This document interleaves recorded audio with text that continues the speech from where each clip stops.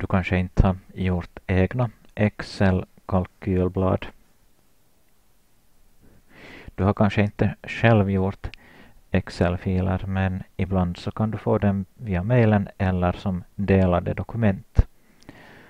Då vi ser en ikon med X i så då är det ett kalkylblad. Vi ska öppna det vi har fått här.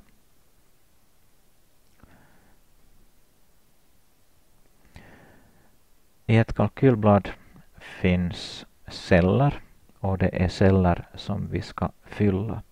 Och man kan antingen klicka cellerna enskilt för att, fälla, för att fylla dem eller så använder man piltangenterna för att röra sig uppåt, neråt, vänster, höger. Och vi skriver in siffrorna eller texten. Det går att använda både och beroende på eh, instruktionerna. Det kan finnas eh, mellanblad eller flikar och då har vi alltså flera lager av kalkylblad. Här har jag tagit som exempel årtal.